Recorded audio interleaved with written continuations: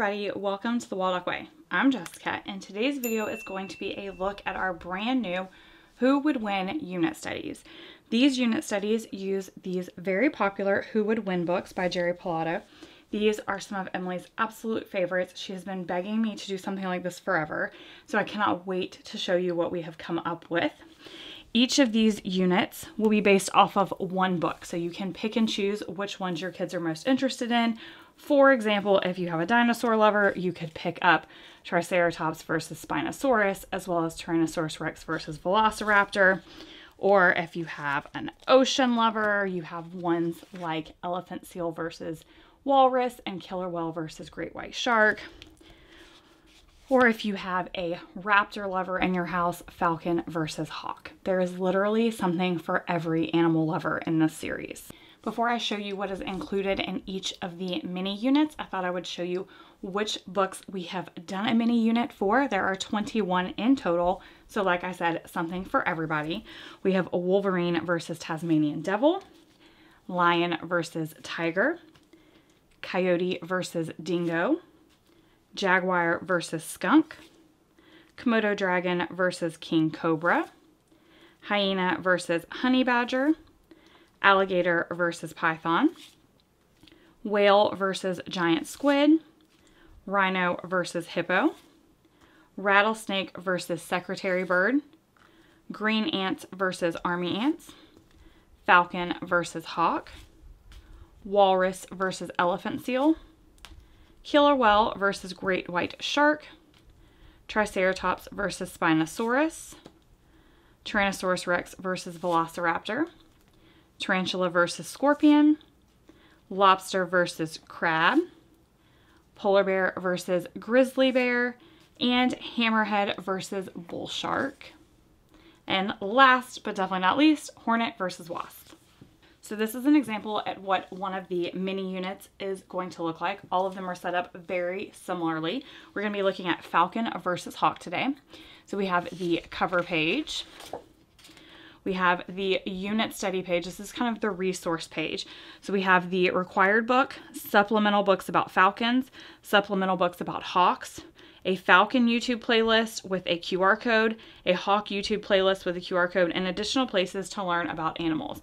Now, each of these things is linked. It is a clickable link, so I just click on it and it'll take you to an example of that so that you can look at it or scan the QR code for ease to watch those YouTube videos.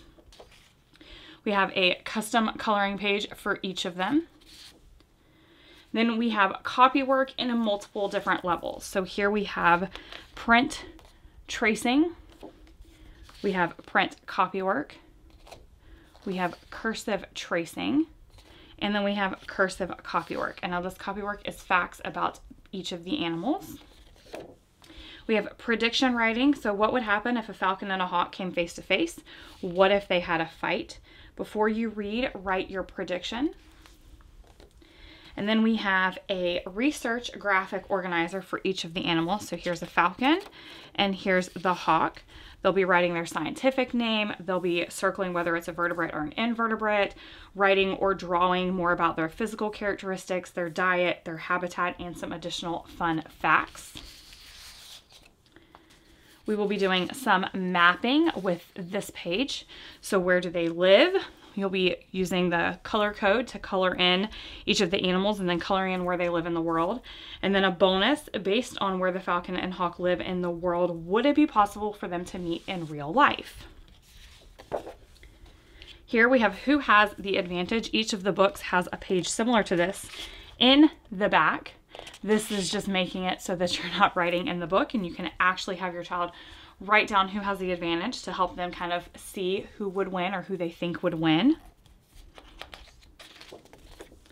We have a compare and contrast Venn diagram for the animals.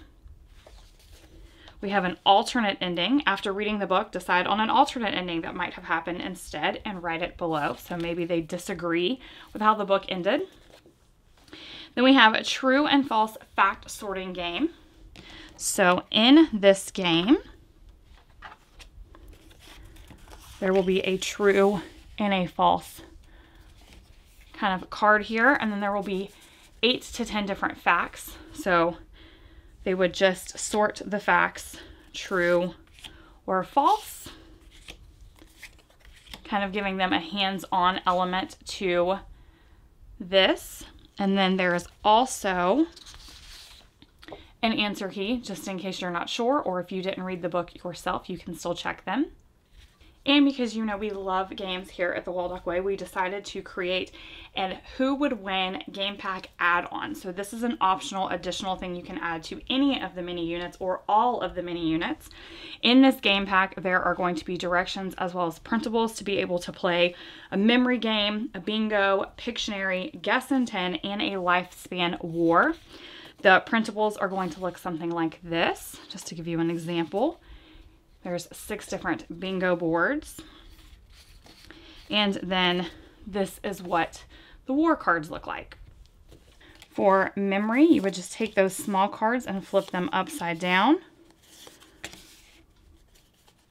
And then once you've done that, you would just take turns flipping them over to see if you had a match. And then for bingo, you would use those same small cards and you would just pick one. Do I have a coyote? Yes, I do. Do I have a hyena? No, I don't. And you would just keep going until you got diagonal, horizontal, or vertical. For Pictionary, you're going to use the same small cards here. You're going to put them into a hat or a bowl, and then you're each going to pick one out and use some sort of maybe dry erase board or paper and draw and see if the other team can guess. Very similar for guess in 10. You're to pick one and then everybody else is going to ask yes or no questions. Can it fly? Yes. Um, is it small? Yes. Um, is it purple? No. And if they can guess what it is in under 10 questions, then they get a point and you'll predetermine an amount of points for that game beforehand.